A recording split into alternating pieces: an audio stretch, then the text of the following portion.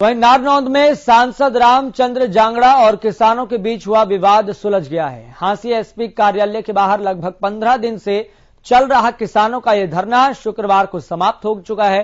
किसानों की मांग प्रशासन की तरफ़ से मान ली गई है, जिसके बाद किसानों ने धरना खत्म करने का ऐलान किया।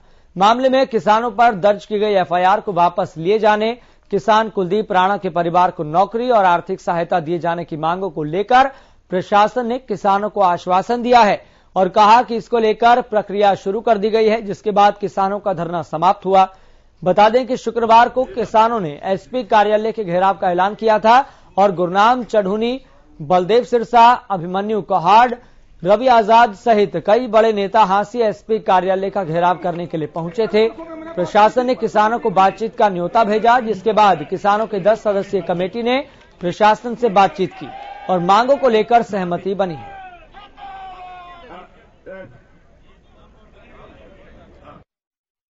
आज हम चार पाँच मांगे लेके प्रशासन के पास गए थे, जो मौजूदा थी, और उनमें करीब करीब जो है वो सारी सरकार प्रशासन ने मानी। हांसी में जो धरना था उसमें बातचीत की एक तो मामला दर्ज करने की एमपी के ऊपर। देखिए उसमें चार पाँच मांगे थी। एक तो मामला दर्ज करने की मांग थी उसमें उन्होंने एसआईटी बिठा दी है जो आईपीएस अधिकारी की अध्यक्षता में होगी। उसमें तीन पुलिस अधिकारी होंगे तीन डॉक्टरों की टीम उसमें शामिल की जाएगी और जो कुलदीप जी हैं, उसके बयान दर्ज किए जाएँगे, उसके आधार पर उसमें पर्चा दर्ज कर दिया जाएगा। फैसला हुआ है। जैसे परिवार के, कुलदीप राणा के एक परिवार को जो नौकरी और उसका जो इलाज है, वो सारे का सारा प्रशासन जो पैसे परिवार ने दिए हैं, उनको वापस लिए जाएँगे।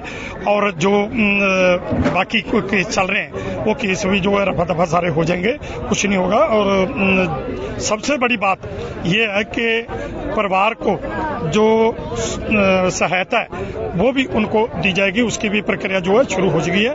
और एक बच्चे की जो छोटा बच्चा है, उसकी पढ़ाई का जुम्मा मैंने लिया है कि उसकी जो पढ़ाई है, वो जो आठ साल का बच्चा है, वो प्लस टू तक उसको हॉस्टल में रखा जाएगा और उसकी पढ़ाई जी है, वो फ्री कराई जाएगी।